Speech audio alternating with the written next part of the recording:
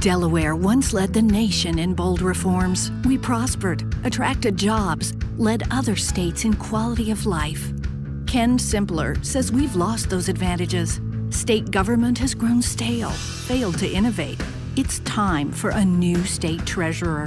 And Ken Simpler is the only candidate with the experience we need. Ken Simpler is a finance guy who has spent years as a financial manager, CFO, and investment advisor. He has a plan for reform to make Delaware first in finance. Simpler wants transparency, so taxpayers know exactly how their tax dollars are being spent. Accountability, so state officials set measurable goals and we hold them to those standards. And certainty, so we get our finances right and ensure long term prosperity. For Treasurer Ken Simpler, a finance guy for a finance job.